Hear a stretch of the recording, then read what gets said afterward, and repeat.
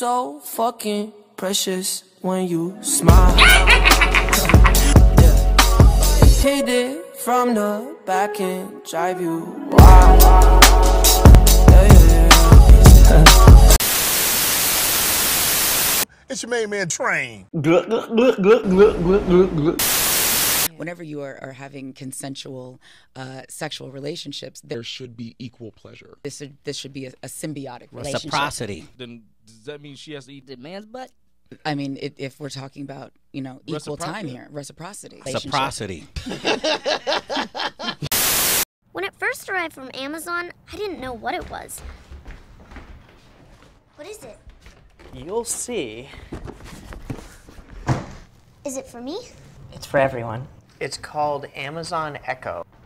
How's it going? Uh, I'm just finishing up right now. Is it on?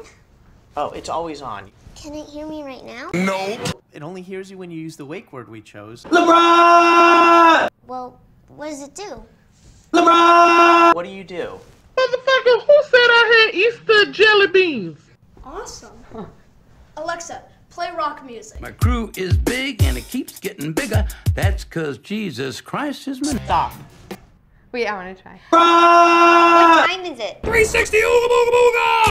You actually don't have to yell at it, oh. okay? It uses far field technology so it can hear you from anywhere in the room. So it can just hear you anywhere? Yes. Well, everyone can hear you anyway. Oh, is that where we're gonna put it? I was thinking of putting it there, but it works anywhere. And with the companion app, you can access Echo from anywhere. Anime bitches, I look at her titties, then I take her home and we count up these 50s. I come to your city, I sneak in your chimney, I tickle her kidney, and then I watch Disney. I love me some hentai, I go on X videos. Bitch, I'm D-Bang sticking my dick in your Cheerios. Bitch, I'm D-Bangs, I might fuck my computer. I whip out my dick, then pull up on my shooter. I tickle your booty, and then I get neutered. I know I'm a loser, I tickle your tumor. I find me a bitch that got no sense of humor. It's Lil come stand, I'm the booty consumer. I take off her shoe and then do the maneuver. And if she act tough, I might whip out the loser. Don't let your kids what's it?